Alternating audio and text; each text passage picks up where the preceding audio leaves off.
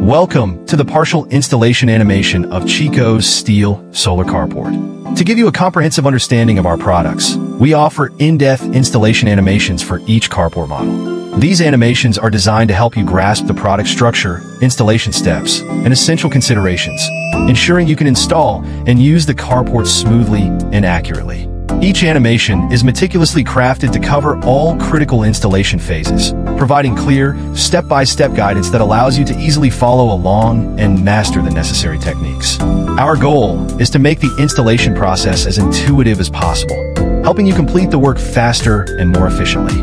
By experiencing these detailed animations, you will also appreciate the high quality and practicality of our products, ensuring a successful and satisfying installation experience.